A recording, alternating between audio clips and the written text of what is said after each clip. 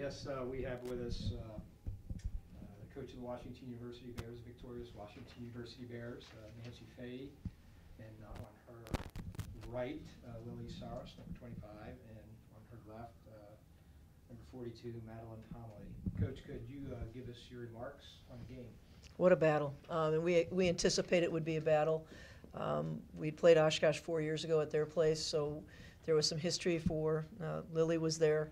And um, so we knew it was going to be a game that we had to really place a incredibly strong defensive performance, and I think our kids responded, so I was really pleased.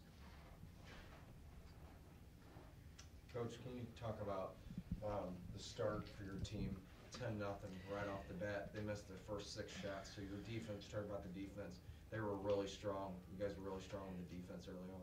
You know, it's almost uh, it's you love those fast starts, and then as a coach, you get nervous about them because you know that it's so early, and that's um, you know I knew they would make a run back, but I was we talked about coming out with a punch defensively.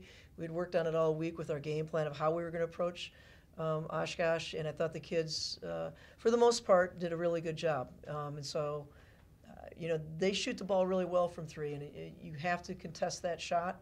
Uh, and if they turn the corner, you're going to have a long night. I've got a question. You were, thr- you held them to three of twenty-two from the, from the free, you know, from the three-point line, which I thought your defense was unbelievable. Did you make any adjustments on that after watching the film? I mean, I figured you had to. Well, I, I think that you, th- they're a good three-point shooting team. They take 20, about 23s a game, and so what we, uh, we typically um, would probably be more in the gaps, but we challenged our kids today not to give up those turn around the corners, and so that we could shade out to their shooters. Uh, and so that, that helped us. Now it broke down a little bit, as you saw. I mean, someone else asked me how many layups did we give up on, you know. I said we won. Um, so you know, uh, you, can't keep, you, you can't uh, beat these kids down in every aspect of the game. They they did the game plan, um, and they scored more points than Oshkosh. So I was really pleased with that.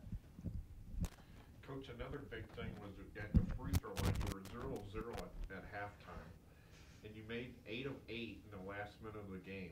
And you were eight of nine on the game. That's the only free throws you guys shot the whole game was right at the end of the game. That's incredible that you hit eight in a row. And that was really big at the end of the game because that's what really put the dagger in there. It, it truly was. I mean, I think the the pack line D that uh, Oshkosh plays, our kids were pretty aware that if you try to drive against us, there was going to be somebody there. I mean, when we did, we got some charges called against us. So we knew they had to do an inside out, but not by necessarily a dribble penetration inside out. Uh, and then obviously at the later in the part of the game where they had to foul, our kids responded with big big free throws. And I'm really glad you mentioned that because um, I'm glad they're shooting it, not me. You know what I'm saying? Uh, I I think that uh, that was a huge aspect um, late in the game. Lily, um, 11 rebounds. I thought you brought a ton of energy to this team tonight and was a, a key component in helping this team win. Just talk about the energy that you brought, especially on the defensive uh, boards. Yeah, um, especially having history with this team, I knew, like Coach said, it was going to be a battle. Um, we were all ready, and it's easy to board, when I, we knew their game plan was they were going to collapse. So if I wasn't going to get a ton of shot, shots up, you know, rebounding is always something um, I can do, and that's something our team really emphasizes. So to give them one shot and done, and you know, that's something that I see as all heart and being tenacious. So just to go get the ball, that's what I thought about, and I'm glad that it turned out well.